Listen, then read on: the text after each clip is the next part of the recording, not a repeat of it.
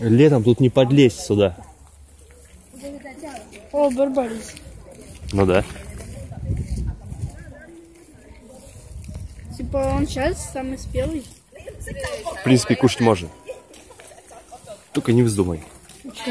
Да тут всякие эти туристы ходят. Плюют. Да, плюют. Особенно китайцы плюют.